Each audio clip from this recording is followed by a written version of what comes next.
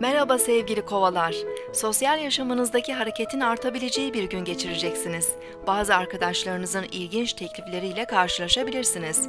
Özel işlerinizi hızlıca bitirmek ve arta kalan vakitte arkadaşlarınızla birlikte olmak sizi keyiflendirebilir.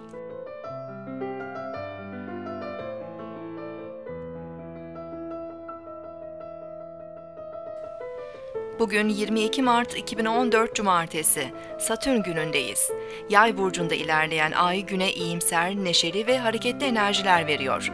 Bugün sosyal ve kültürel faaliyetler, yurt dışı ile ilgili konular, hukuksal kavramlar günlük hayatımızda öne çıkabilir. Seyahatler, geziler, spor ve açık hava etkinlikleri için günü değerlendirebiliriz.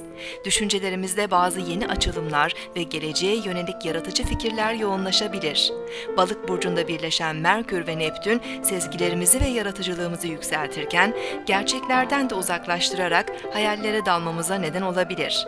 Olaylara büyük pencereden bakarak değişik vizyonlar geliştirebiliriz.